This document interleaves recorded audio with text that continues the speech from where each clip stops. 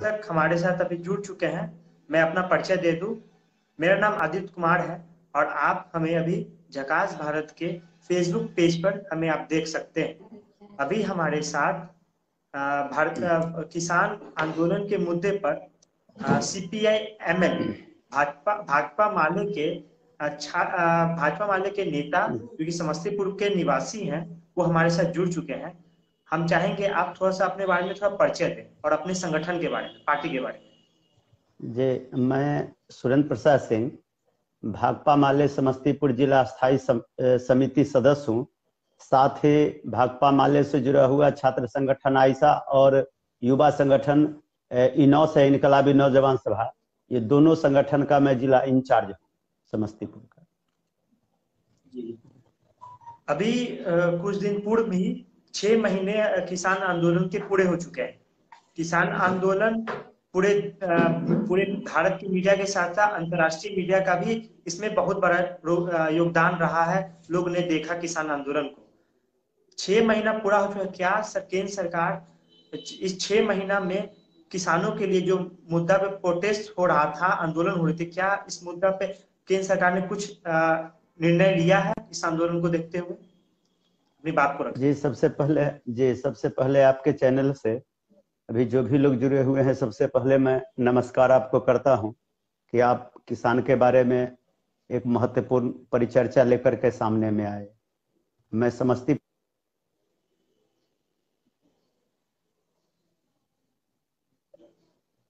Block हुआ से आता हूँ। मेरा जो परिवार है, बिल्कुल छोटे किसान है।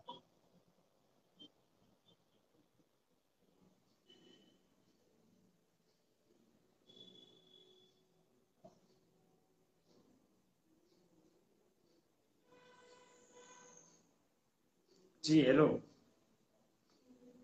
हेलो तो उनके बेटा शौक से लिखते हैं आर्मी बनना चाहते हैं। बनना चाह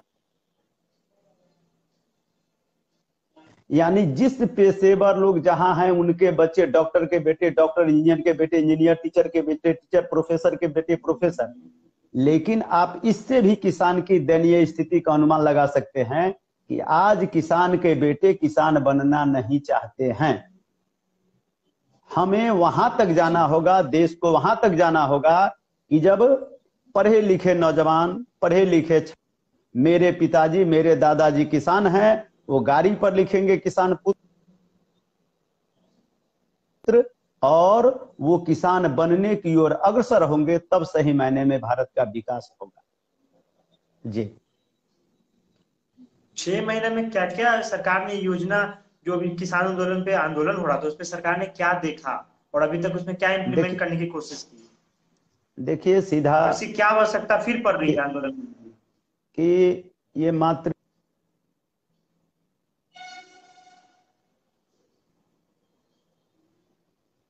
लंबी सरकार के बाद लोग उब गए थे। हर वर्ग के लोग आशाहीन हो गए थे। कई समस्याएँ लोगों को घेर लिया था। तो ऐसी स्थिति में बड़ी ताकत से कारपोरेट घराने ने नारा दिया। मोदी जी को सहयोग दिया। पूरे देश में वो फैल गए, उनकी सरकार बनी। सरकार बनने के बाद ये जो किसान आंदोलन आप देख रहे हैं, यह देश में चल रहे बड़े आंदोलन का एक झांकी भी है। छात्र सरकार से परेशान रहा, रोज़गार को लेकर नौजवान परेशान रहा जीएसटी से लेकर तमाम कई प्रकार के कानून लगाने से व्यवसायी वर्ग परेशान रहा। बुद्धिजीवी वर्ग अर्बन अर्बन नक्सली बोल करके परेशान रहा। फिर इसी दौर में एक बड़े आंदोलन, किसान के आंदोलन शुरू हुई। निश्चित तौर पर जो पहले से फटेहाली किसान के थे। मैं समस्तीपुर की बात करूँ तो बाज़ार समिति 2006 से समस्तीपुर का बंद है। मेरे पिताजी, मेरे दादाजी, मेरे ताजपुर के लोग समस्तीपुर के लोग अपने प्रोडक्ट को लेके बाज़ार समिति में बेचने आते थे। और कई ग्राहक होते थे और वो ग्राहक पूछते थे कि इतना कभी 1800, 2000, 2200, 2400 ऐसे दाम बढ़ता था। ये प्रोडक्ट बेचते थे। 2006 से बाज़ार समिति बंद है। तो बिहार में किसान आंदोलन का उतना व्यापक असर नहीं है जितना पंजाब में है राजस्थान में है हरियाणा में है। इसीलिए कि वहाँ एमएसपी है। एमएसपी रहने के कारण वहाँ के किसान ज़िंदा हैं। एमएसपी के कारण वहाँ के किसान को दो पैसा आता है, लेकिन बिहार के किसान बाज़ार समिति 2006 में बंद होने से परेशान। अब जब किसान आंदोलन इन तमाम चीज़ों को लेकर के किसान के खिलाफ करे कानून और बनाए गए, कुल मिला के इसको यूँ समझ सकते हैं कि भारत के पेट्रोल या भारत के जो खनिज कारपोरेट घराने के हवाले हो गया। ये कारपोरेट घराने एक साजिश के तहत सरकार पर दबाव बनाई और कारपोरेट घराने के इशारे पर वो कानून लाए गए। जहाँ पर जो खेती कर रहे थे, उनको हटाने की साजिश थी, कारपोरेट खेती को डेवलप करने की साजिश थी। जो एमएसपी सरकार को देना पड़ता था, सरकार अपने को एमएसपी एमएसपी से पीछे भाग रही थी। आज सरसों तेल दो सौ रुपये मिल रहा है रिफाइन दो सौ रुपये मिल रहा है, लेकिन किसानों के सरसों और तोरी की कीमत नहीं बढ़ाई गई है। उनकी कीमत वही है। लेकिन जब किसान के हाथ से उनके उत्पाद, व्यवसायी, बड़े व्यवसायी या कारपोरेट घराने के हाथ में जाते ही, उसकी कीमत में इजाफा हो जाता है।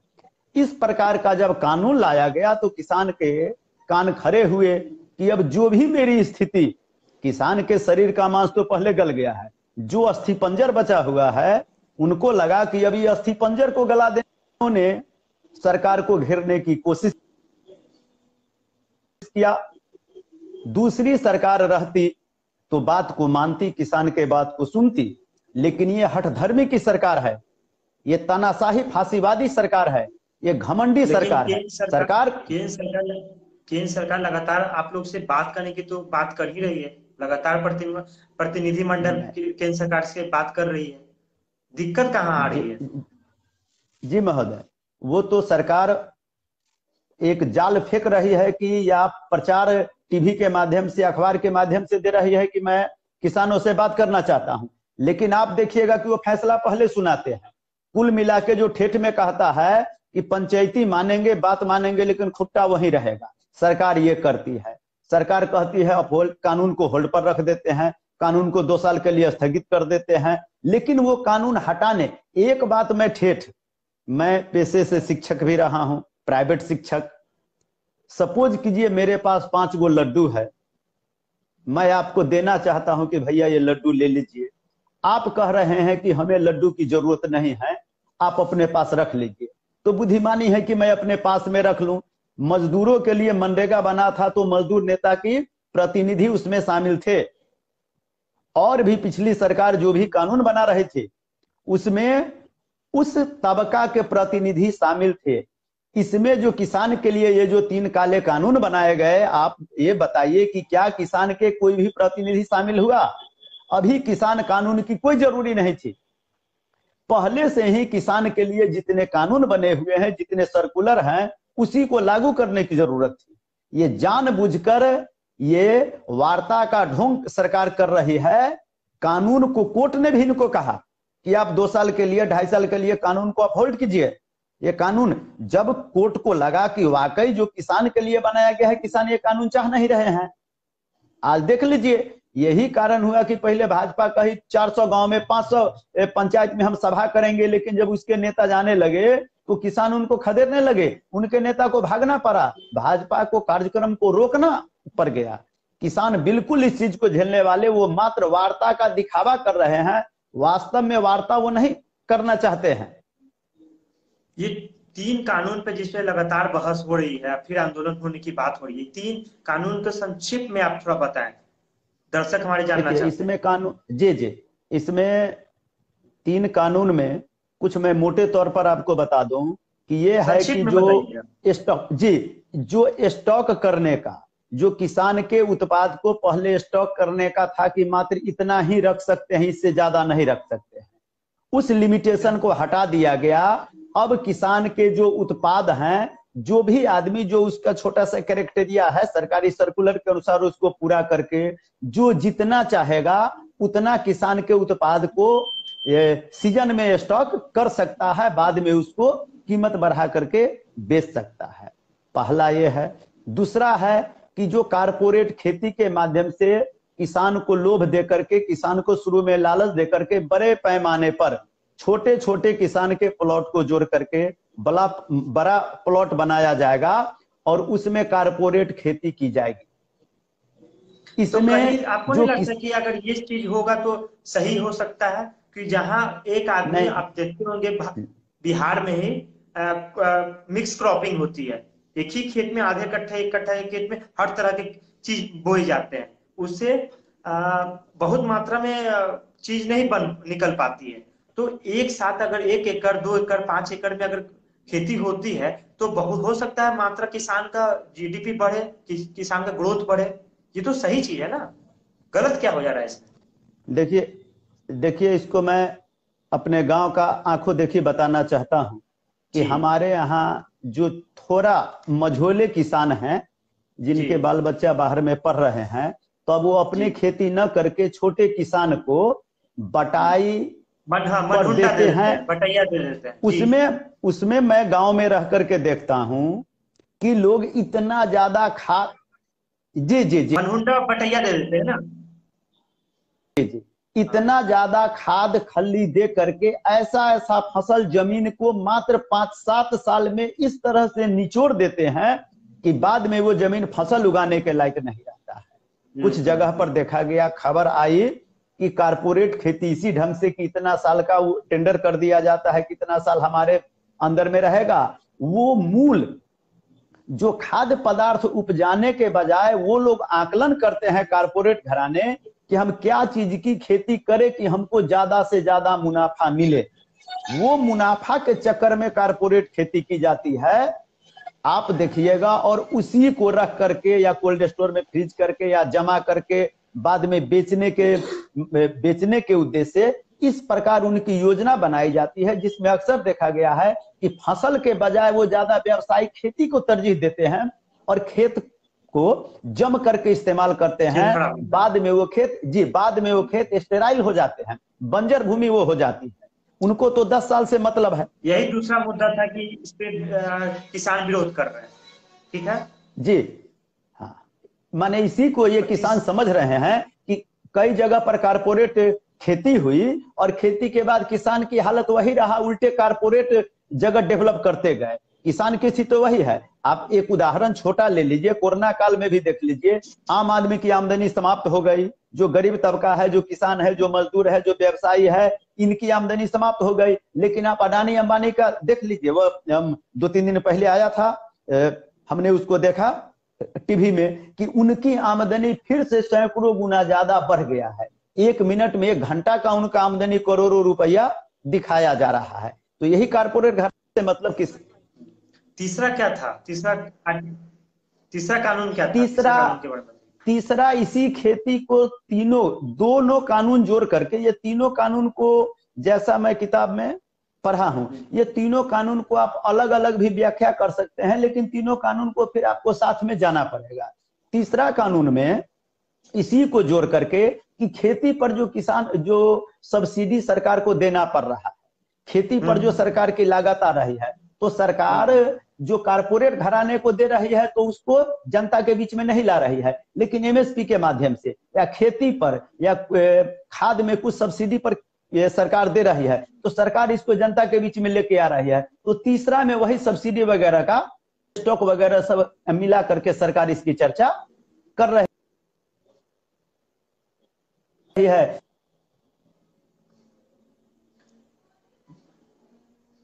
हेलो। तो आ, सर किसान क्या चाहती है? आंदोलन ये जो हो तो- रहा है उसमें किसान क्या चाहती है? क्या होना चाहिए? ये ये तो किसान स्पष्ट कह रहे हैं कि हमें इस कानून की ज़रूरत नहीं है। आप इस कानून को बिल्कुल हटा दीजिए कानून को रद्द कर दीजिए। हमें ज़रूरी ही नहीं है तो आप ज़बरदस्ती हमको कानून क्यों दे रहे हैं? आप कानून को हटा दीजिए। लेकिन सरकार कह रही है कि इसको हम होल्ड करेंगे। होल्ड पर रखेंगे, दो साल बाद लाएँगे। सरकार की ये पॉलिसी है और किसान इस चीज़ का विरोध कर रहे हैं कि यदि इतना बड़ा आंदोलन हम लोगों ने शुरू किया, कोरोना काल है, हमें भी तकलीफ़ है, आपको भी तकलीफ़ है कि हज़ारों हज़ार लोग दिल्ली मारे जा रहे हैं, ये किसान अपना घर बार छोड़ करके दिल्ली के सीमा पर डटे हुए हैं। लेकिन सरकार को भी सुनना चाहिए कि जब किसान कानून नहीं चाहते हैं थी, फिर से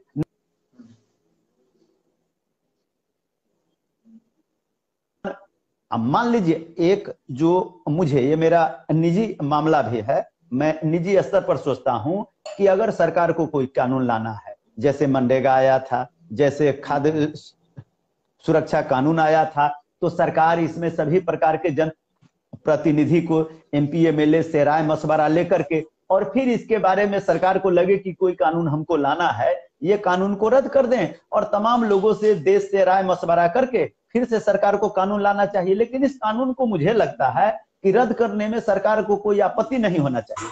मैं एक बात और आपके चैनल पे स्पष्ट ये बताना चाहता हूँ, सरकार को डर है।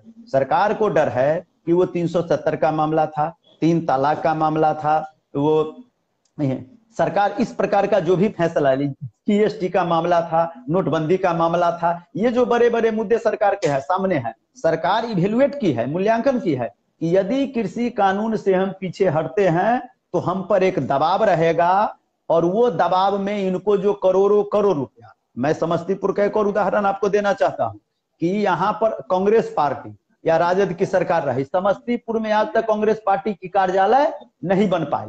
आज तक राजद की कार्यालय समस्तीपुर में नहीं बन पाई। लेकिन मैंने देखा कि पूरे समस्तीपुर के रही धुरलक में भी, जहाँ वास्तु विहार है, वहाँ भाजपा की करोड़ों रुपया की लागत से कार्यालय तैयार हो गया।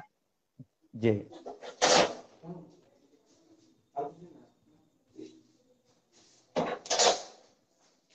तो माफ़ी चाहते हैं। हाँ तो ठीक है। अच्छा ये बात बताइए जो जी तो मैंने अंतिम अंतिम इसमें हाँ, अंतिम मैं इसमें पूरा कर दूँ कि सरकार को जो कारपोरेट घराना बैकिंग कर रही है जो बड़े मात्रा में चंदा दे रही है सरकार को लगता है कि यदि हम इस कानून से पीछे हटे तो कारपोरेट घराना में जो मेरा साख है कि सरकार जो चाहती है कर लेती है मेरा साख खत्म हो जाएगा। कारपोरेट घराने में अपने साख को समाप्त होने के डर से सरकार जो ये तानाशाही सरकार है उससे किसान के कानून को रद्द नहीं करना चाहती है। जी। मतलब आपके बोलने का मतलब है सरकार अगर किसान आंदोलन किसान का जो मुद्दा है अगर उसको डिक्लेयर मतलब उसको बोल देती कि ठीक है हम वापस लेते हैं तो 370 जैसे जो कानून आया है उसको वापस लेना पड़ जाएगा। यही बोलना चाह रहे हैं ना संक्षिप्त में। वापस लेना माने सरकार पर वापस तो एक अंतिम फैसला होता है लेकिन सरकार पर लगता है कि जी इस हाँ लगातार इस पर सरकार पर दबाव मिलेगा और दूसरी बात कि कारपोरेट घराने का सरकार पर से विश्वास उठ जाएगा। हम्म, ठीक है। ये ये छह आपका जो भाग, भाजपा माले है इस आंदोलन में क्योंकि महागठबंधन के वो हिस्सा भी है केंद्र में क्योंकि विपक्ष में है वो क्या जी, जी. आपके संगठन का आपके पार्टी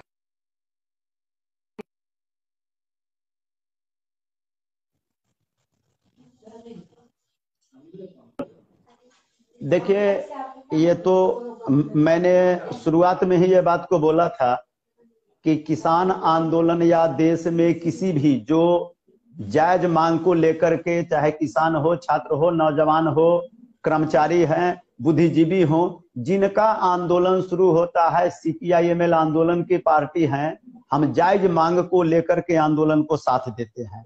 क्योंकि किसान सबसे निरीह तबका है, सबसे परेशान तबका है, इसीलिए मेरी party CPIML liberation Bhakpa Male liberation जो शुरू से ही किसान आंदोलन, आपको जानकारी है कि अखिल भारतीय किसान महासभा जो किसानों का एक बड़ा संगठन है, बिहार में भी, या देश के, या पंजाब में, हरियाणा में, राजस्थान में, ये तमाम जगह पर हमारा ये संगठन है। हम पहले भी किसान आंदोलन चलाते रहे हैं, बड़ी मजबूती से। ताजपुर, समस्तीपुर के इलाके में भी हमारा किसान संगठन काफ़ी स्ट्रांग है, हम यहाँ भी लड़ रहे हैं। और दिल्ली में आंदोलन को हम लोग शुरुआती समय से हमारे पंजाब के रुलदू सिंह हो या अखिल भारतीय किसान समन्वय संघर्ष समिति के महासचिव कॉमरे राजा राम जी हों उनके माध्यम से जो उनके समन्वय समिति में किसान आंदोलन में है तो लगातार हम लोग इस आंदोलन को सपोर्ट कर रहे हैं और इस आंदोलन को इसीलिए सपोर्ट कर रहे हैं कि जब आप एक बेहतर भारत बनाना चाहिएगा, जो आम आदमी तक भोजन की आप व्यवस्था देना चाहिएगा एक मज़बूत देश बनाना चाहिएगा। यहाँ लगभग अभी भी सतहत्तर, अठहत्तर प्रतिशत कुल मिला के अभी भी पचहत्तर प्रतिशत से ऊपर ज़्यादा डिपेंडेंसी एग्रीकल्चर पर है, फ़ार्मिंग पर है। वैसी स्थिति में हम लोग मूलतः काफ़ी मजबूती से किसान आंदोलन को साथ देते रहे हैं। जब तक किसान आंदोलन चलेगा, हम दिल्ली के बॉर्डर पर किसान आंदोलन के साथ खड़े किसान आंदोलन के साथ खड़े रहेंगे। लगता है कोरोना जैसी कोरोना जैसी वैश्विक महामारी में आज हम लोग दूसरा फ़ेज़ इस देश कोरोना का देख रहा है। इसमें फिर से अगर बात हो रही है फिर से आंदोलन करने की तो कहीं ना कहीं किसानों के जान को नेता नहीं देख रहे हैं अपने फ़ायदे के लिए। उनकी जान की परवाह नहीं, नहीं कर इस पर देखिए इस इस पर मैं हाँ इस पर मैं आपसे संतुष्ट नहीं हूँ। इस पर मेरा अलग राय है। ये सरकार को सोचने के काम है। हमारी भी सरकार, हमारे भी प्रधानमंत्री, आपके भी प्रधानमंत्री, पूरे देश के प्रधानमंत्री नरेंद्र मोदी जी हैं। ये मोदी जी को सोचना चाहिए कि कोरोना जैसी स्थिति में कोई परिवार को छोड़ करके, अपने जान को दाव पर लगा करके हमारे यहाँ आंदोलन कर रहे हैं। आंदोलनकारी से कैसे वार्ता किया जाए, कैसे कानून को स्थगित किया जाए, कानून को रद्द किया जाए, ये सोचना सरकार की काम है। हमें ज़रूर संवेदना है, हमें इस बात की दुख है कि कोरोना जैसे महामारी में अपने जहाँ हज़ारों लोग किसान को बॉर्डर पर बैठना पड़ रहा है, वर्षा में, आंधी में, पानी में, गर्मी में, आप तीन सौ से ज़्यादा किसान की मौत हो गई है। ये दर्द हमको है। ऐसे भी तो किसान खेत में मर रहा है। किसान तो ऐसे भी खेत में मर रहा है। आत्महत्या किसान ऐसे भी कर रहा है। आप रिकॉर्ड देख लीजिए कि आत्महत्या करने वालों में सबसे ज़्यादा तबकाई कौन लोग हैं? सबसे ज़्यादा तबकाई किसान है। चाहे केसीसी का मामला हो, किसान लोन का मामला हो, महाजनी कर्ज का मामला हो, आंधी पानी वर्षा बाढ़ में किसान के फ़सल बर्बाद हो जाने का मामला हो, तमाम तरह से ये परेशान किसान ऐसे भी मर रहे हैं। और ये कानून लागू हो जाएगा तो और वो पूरी तरह बर्बाद हो जाएँगे, पूरी तरह वो समाप्त हो जाएँगे।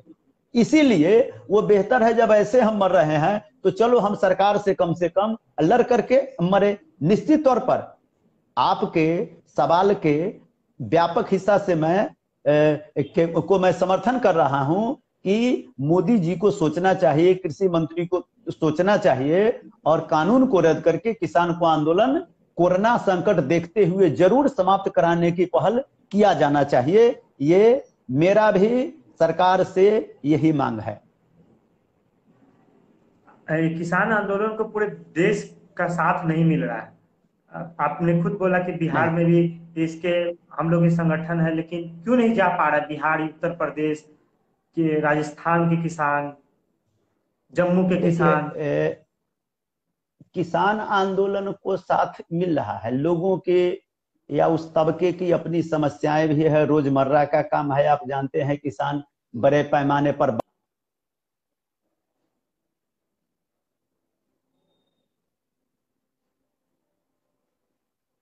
जी हेलो।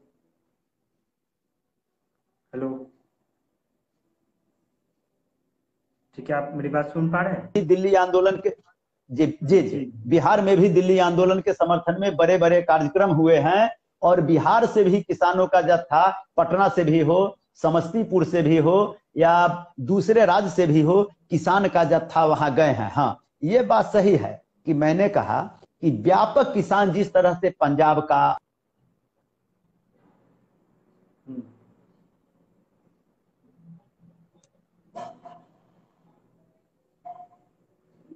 हैं क्योंकि बिहार के किसान को पहले 2006 से ही एमएसपी बंद है। माने कुल मिला के जो बाज़ार समिति यहाँ पहले से बंद है तो यहाँ के किसान पहले से ही परेशान है, लाभ इनको नहीं मिल रहा था। लेकिन वहाँ तो बिल्कुल किसानी यहाँ के किसान, आप देखिए, किसानी से हटे भी हैं, लेकिन पंजाब, राजस्थान, हरियाणा, यूपी के मैंने अधिकांश इलाके में अभी भी मजबूती से किसान और किसानी डटे हुए हैं। तो ये नहीं है, देश के विभिन्न हिस्से में, विभिन्न हिस्से से लोग जा भी रहे हैं और किसान आंदोलन के साथ भी हैं और उनके समर्थन में अपने अपने राज्य से अपने अपने जिला से किसान आंदोलन का सोशल साइड से समर्थन भी देना क्या इसकी फंडिंग कहाँ से फंडिंग पे विवाद हो रहा था इससे पहले। देखिए फंडिंग तो हम लोग जी जी फंडिंग तो हम लोग समस्तीपुर में भी हम लोग समस्तीपुर में बिहार में किसान के पास जा करके सौ, दो सौ, पाँच सौ रुपया, एक सौ रुपया, दस रुपया, बीस रुपया, जो जितना दिया है चंदा करके हम लोग समस्तीपुर से भी कुछ चंदा और बिहार से चंदा वहाँ भेजने का काम चल रहा है। और बड़े बड़े जो किसान आपको भोजन दे सकते हैं, जो किसान पूरा देश को खिला सकते हैं, जो किसान बड़े बड़े देखिए पंजाब के किसान लंगर चला रहे हैं तो जो किसान देश को खिला सकते हैं, वो किसान फंडिंग क्यों नहीं दे सकते? क्योंकि किसान का वजूद दाव पर लगा हुआ है। पहले लोग हज़ार पाँच सौ रुपया देते थे, लेकिन हमने देखा जब किसान का वजूद दाव पर लगा हुआ है, ये किसान की अंतिम लड़ाई है, करो और मरो की लड़ाई है। तो ऐसे स्थिति में किसान भी व्यापक बड़े पैमाने पर, हम लोगों ने समस्तीपुर में मुँह खोला और लोग कहा कि, सुरेंद्र जी, जब कभी ज़रूरत हो आप हमारे पास आइएगा, हम चंदा देंगे। जब हम दूसरा को खिलाते हैं, देश को खिलाते हैं, देश को भोजन देते हैं, देश को पैसा देते हैं तो हम अपना किसान के आंदोलन में क्यों नहीं देंगे? तो किसान के आंदोलन में पूरा देश के किसान देश के मजदूर छात्र नौजवान सब लोग सहयोग कर रहे हैं। तो क्या इस सेकेंड फ़ेज़ के जो किसान आंदोलन होने जा रही है क्या इसमें सारे भारत के विपक्ष का संगठन या विपक्ष का पार्टी का सहयोग मिलने वाला है फिर से? देख देखिए सभी पार्टी का अपना अपना कार्यक्रम अलग अलग है। लेकिन उसमें से कुछ एक पार्टी ऐसा है जैसे हम लोगों को ही हमने कहा सीपीआईएमएल की बात। तो हम लोगों का किसान संगठन पहले से भी है। और किसान संगठन है तो एक बात हमने कहा कि माले से जुड़ा हुआ। जिस दिन किसान संगठन बहुत स्ट्रांग हो जाएँगे जुड़ा हुआ क्या? वो अपना पाँव पर खड़ा हो जाएँगे। आज आज हम लोग साथ दे रहे हैं सहयोग दे रहे हैं किसान भी हमें साथ दे रहे हैं। तो ए, किसान आंदोलन कुल मिलाकर के बेहतर दिशा में जा रहा है।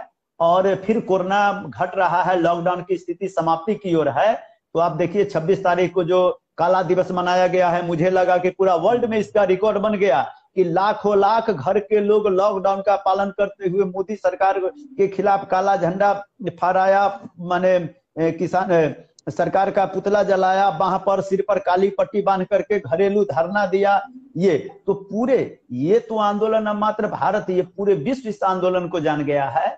और ये भारत में भी किसानों ने मूड बना लिया है। राज्यों ने मूड बना लिया है कि जो ही लॉकडाउन समाप्त होता है, कोरोना काल घटता है तो फिर बड़ी संख्या में, अभी तो वहाँ जाने से भी, अभी मुझे जानकारी हुई है, किसान वहाँ पर थे, उनसे हमारी बात हो रही थी टेलीफोन से, उन्होंने बताया कि सुरेन जी, हम लोगों ने अभी रोक रखा है, अभी ज़्यादा लोगों को आने की ज़रूरत नहीं है, अभी हम लोग सांकेतिक कार्यक्रम बॉर्डर पर कर रहे हैं, कम संख्या में दूरी बना करके रह रहे हैं लॉकडाउन समाप्त होता है, इसके बाद 26 तारीख को हमने नज़ारा बता दिया है बड़े पैमाने पर किसान जाएँगे और दिल्ली में और बड़े पैमाने पर बड़ी ताकत से बड़ी भीड़ जाएँगे इससे पहले आप आंदोलन में गए थे? नहीं मैं कुछ पारिवारिक कारण से मैं हमारे यहाँ से लोग गए हैं। मैं यहाँ से लोगों को भेजा लेकिन अब मैं खुद हमारे पार्टी के लोग वहाँ पर गए हैं। पार्टी के लोग वहाँ पर गए हैं। अब मैं कुछ निजी कारण से पारिवारिक कारण से मैं समस्तीपुर में रहा। क्या इस बार आप जाएँगे? 2021 में आप जाएँगे?